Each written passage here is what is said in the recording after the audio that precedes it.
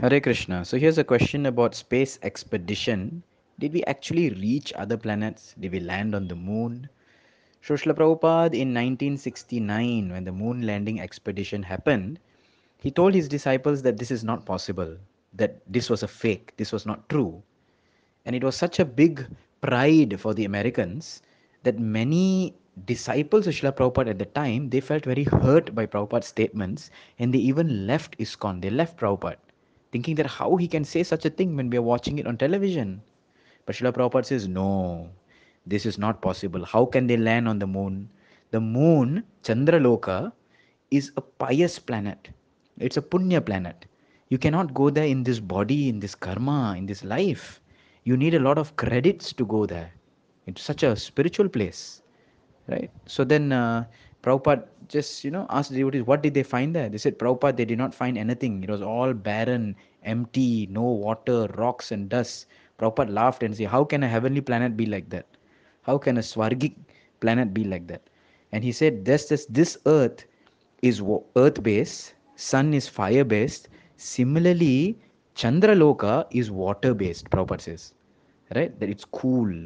It's an it's a very cooling planet. Because we feel the moon rays here very cold. That means the planet is also very cooling. So then Prabhupada says that, uh, okay, maybe they have landed on some other planet, some other asteroid or some other things. Even we remember that when we were younger in science, they used to study nine planets, and the ninth planet was called Pluto. And just around some decades ago, they decided that no, no, no, Pluto is not a planet. Pluto is one of the satellites of the other planets. So they dismiss it. You know, then what was our study all this while? So scientific discovery means basically a lot of changes in facts. It's not really scientific. So let's look logically why this is a little difficult to believe. First, the perception. So when we see the earth and the moon or whatever planet, there's a there's a misleading perception because although on a flat paper we understand that the shortest path between two points is a straight line, but because earth and all grahas, all planets are spherical, even in this world, the distance between two cities is not a straight direction because the earth is spherical, you have to go a little elliptical, right? And uh, a curved fashion. If you go to a curved fashion, actually the distance is shorter. So similarly, from here, from this point, they thought that, you know, they're probably reaching the right place, right destination, and we have arrived by their calculation and means. But it could be a mistake. I mean, should not forget that Columbus was looking for India with all his coordinates, directions, and everything, and he ended up in America. Second logical point is that if we remember, the Russians were the first in space. This happened in the uh, in the 1960s and then uh, there was the Cold War at the time also between Russia and America. And then Kennedy, president of America at the time, he announced that by the end of the decade, by the end of the 60s, America will walk on the moon. And exactly 1969, the moon landing ex- uh, expedition happened.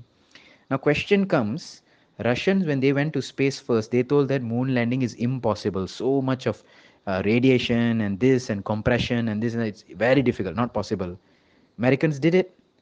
But then, since then till today, more than 50 years, why could not send any other man on the moon again?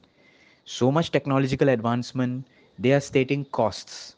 The cost is very costly, but in between, so many missions have gone. Space station is there, this is there, that is there. They send rovers on some other asteroids or planets. They have, you know, so uh, why could not they send another man in despite of so much technology and things are getting cheaper if you look at it those days when the first iphone came out it was very costly now ev- everyone has an iphone so technological advancement and uh, affordability is also happening but still nobody is going again why something wrong somewhere so whatever they may be sending their rovers or their people or their space stations here and there it all could just be around the earth's asteroid belt different places, different these things. All right, whether really they actually went and landed in some planet, it doesn't seem very possible because the planets are huge and planets have different. Uh, Prabhupada gives an example like just to go to different countries, you need visas, you need qualifications. So similarly to uh, to go to other planets in the self same body, it's very uh, not possible. In our shastras, we have the story of Ravana who wanted to build a staircase to heaven you know physical material attempt mechanical attempt to defy the laws of nature So overall, in conclusion, Srila Prabhupada says that wherever it may be, this world, that world, this planet, that planet, everywhere in the material world, the conditions are the same. Birth, death, old age and disease. Wherever we go, there's not going to be happiness. Wherever we go, there's not going to be any permanent position. Therefore, the real intelligent thing is to desire to go back home, back to Godhead. This Prabhupada explains very nicely in his book, Easy Journey to Other Planets. Hare Krishna.